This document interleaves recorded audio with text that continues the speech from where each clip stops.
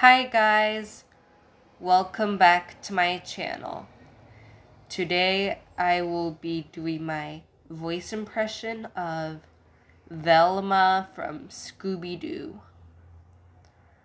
I remember my family used to watch that show a long time ago. And it was one of the best shows ever. I mean, ever. So, let me start her impression. Scooby. Shaggy. Come on, guys. We need to get back to work. Shanksters. What was that? Sound.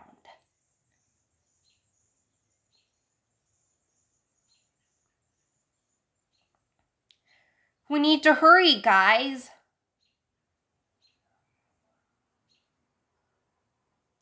So that's it, everyone. And goodbye, everyone.